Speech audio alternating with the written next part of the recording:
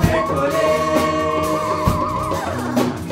Abre o um espaço, conhecer, aprender.